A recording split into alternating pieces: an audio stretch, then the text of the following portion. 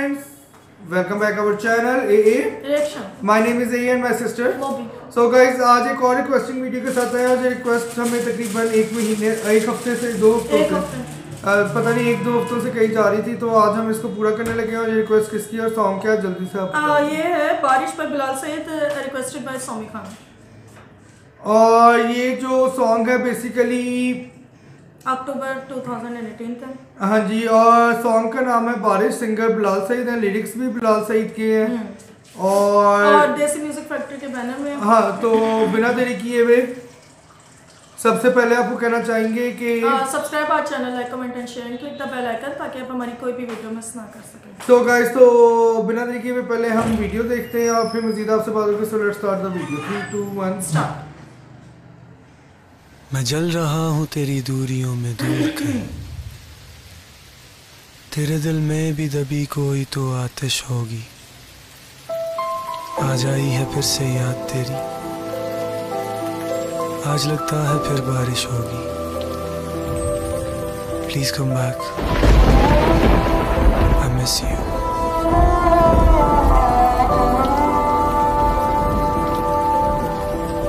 काली रात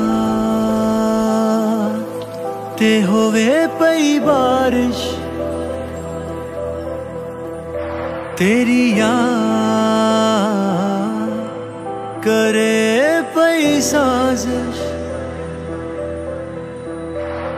नाले दिल दिए फरमाइश, तू एक बारी आ जावे ते दिल जरा लग जावे। जे वारी आ जावे ते दिल जरा लग जावे।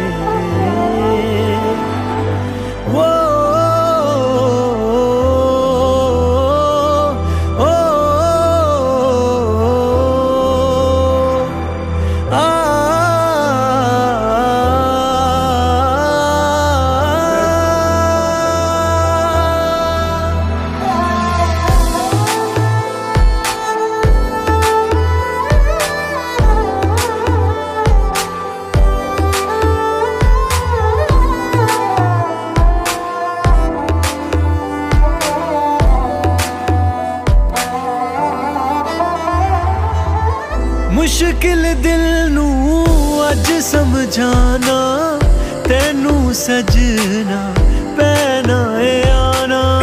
ਜਾਗਿਆ ਫਿਰ ਇੱਕ ਦਰਦ ਪੁਰਾਣਾ, ਕੋਲ ਬਿਠਾ ਕੇ ਤੈਨੂੰ ਸੁਣਾਣਾ। ਮਰ ਜਾਣੇ ਇਸ ਚੰਦਰੇ ਦਿਲ ਦੀ, ਪੂਰੀ ਹੋ ਜਾਏ ਖਾਹਿਸ਼ ਤੇ ਇੱਕ ਵਾਰੀ ਆ ਜਾਵੇ।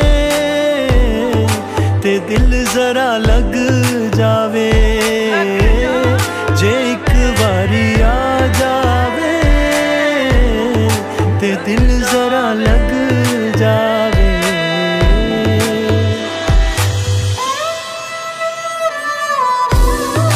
आई लव यू लेकिन तुम्हारे पास मेरे लिए वक्त ही नहीं। तुम्हारे इंतज़ार में न जाने कितनी बारिशें गुजर गई।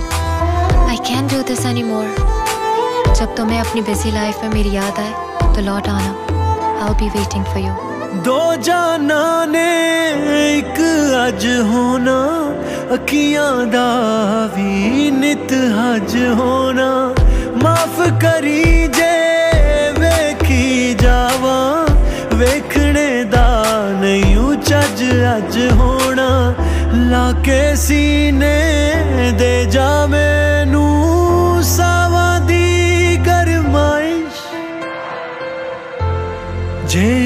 वारी आ जावे ते दिल जरा लग जावे। जे एक वारी आ जावे ते दिल जरा लग जावे। सो गाइस तो ये सॉन्ग था और जो इसका बैकग्राउंड और लोकेशन थी जो वीडियो बनाई गई है वो बहुत अच्छी थी। ब्लैकआउट थे। ब्लैकआउट थी मगर अच्छी थी सॉन्ग के हिसाब से रात और बारिश का ही ज़िक्र था ना। बेसिकली सैड सॉन्ग था मगर मुझे एक बात की समझ नहीं आई वो भी कही थी जब तुम्हारे टाइम हो तो मिल लेना तो ये भी मिलना तो है। जब दोनों मिलना चाह रहे तो इशू क्या है? इशू ये है कि ईगो सेल्फ रिस्पेक्ट ईगो बहुत ज़्यादा है कि पहले उसके पास टाइम नहीं था वो पीछे फिरती थी बाद में वही रोना धोना। बात वही दिखाई है कि सेल्फ ईगो बहुत ज़्यादा स्ट्रॉन्ग थी। अच्छा ये चीज़ हुई है।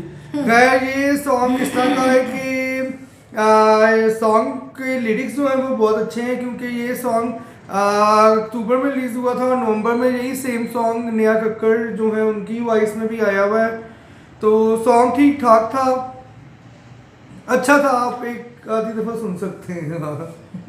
तो बाकी ये है कि अब ठीक था सॉन्ग अब लिरिक्स भी अच्छे थे और ठीक ठाक सॉन्ग था और इससे ज़्यादा आपको ये सॉन्ग कैसा लगा? आप बल्कि हमें कमेंट बॉक्स में बताएँ।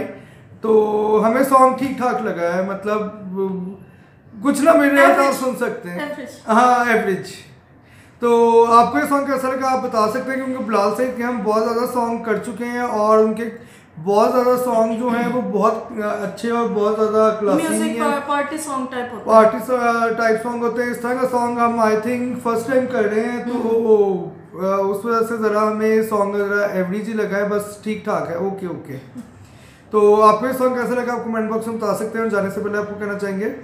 Subscribe subscribe subscribe okay bye bye